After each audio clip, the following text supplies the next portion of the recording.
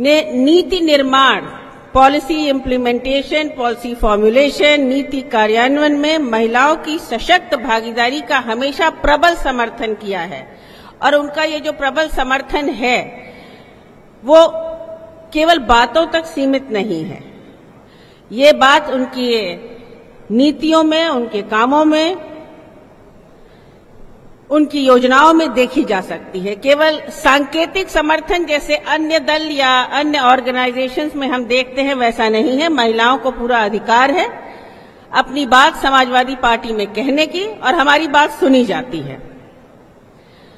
महिलाएँ शिक्षित हों, समर्थ हों, आर्थिक रूप से स्वावलंबी हों, समाज में गैर बराबरी दूर हो यह उनके विचारों और योजनाओं में हमेशा स्पष्ट दिखा है। डॉक्टर अंबेडकर ने कहा है, हम सब जानते हैं कि किसी भी समाज का विकास इस बात से आंका जा सकता है कि उसमें महिलाओं का कितना विकास हुआ, महिलाओं की कितनी भागीदारी हुई।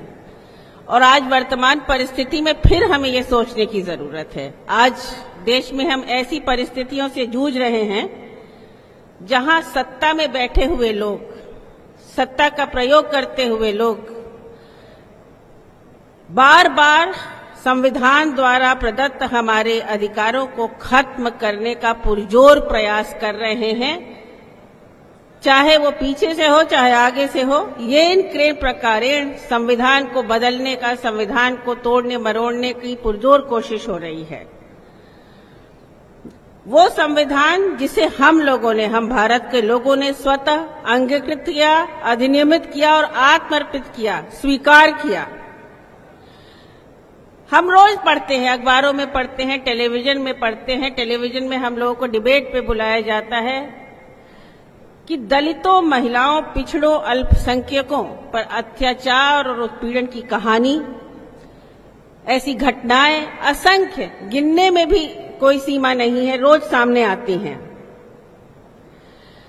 और कहीं न कहीं तो लगता है कि ये संवेदनहीन सरकार, इसका या तो परोक्ष समर्थन है, या फिर कोई चुप्पी है कि कार्रवाई और इनकी चुप्पी या बोलना सब कुछ सुविधा के अनुसार होता है। निष्पक्ष तरीके से नहीं होता।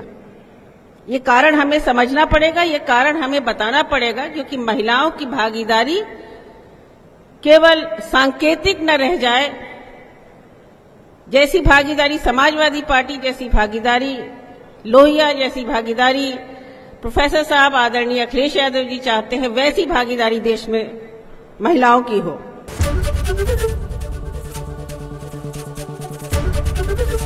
एबीपी गंगा, खबर आपकी, जुबा आपकी।